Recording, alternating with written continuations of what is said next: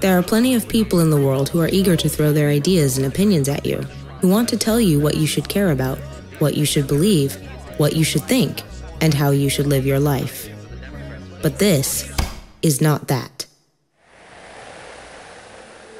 Instead, the purpose of the mirror is to take you on a journey inside your own mind, to let you explore the inner world of your own thought processes. The mirror is not about what facts you know or how smart you are. It's about exploring what you believe, how you see the world, and why. An interactive process where the way you answer certain questions determines where you will go and what you will discover next. In here, you are the scientist and the subject.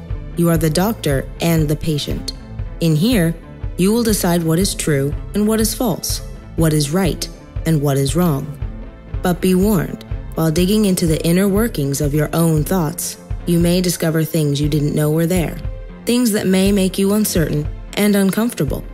So, the first, and perhaps the most important question, is this If, for whatever reason, you weren't seeing the world as it really is, if certain misunderstandings and false assumptions were causing you to think things and do things which go against what you really believe in and who you really are, would you want to know about it?